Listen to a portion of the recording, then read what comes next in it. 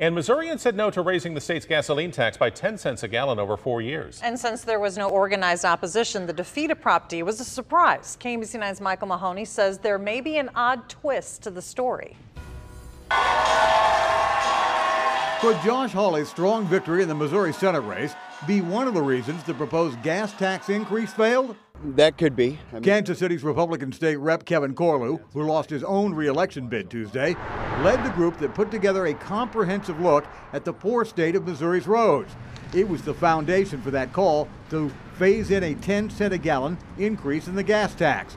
Hawley's successful campaign brought out many Missouri conservatives to vote.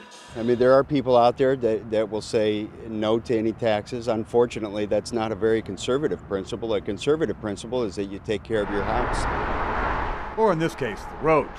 But almost everybody thinks the price of gas is always too high, so it was going to be tough anyway.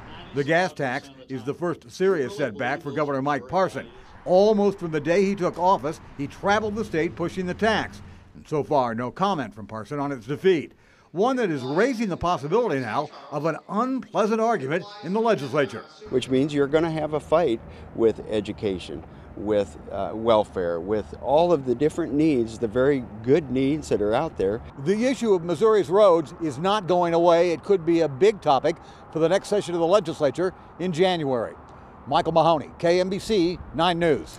Voters in Kansas City, Missouri, in Clay County, and in Platte County voted for the gas tax hike, but it lost in Jackson County. Statewide, it lost by eight points.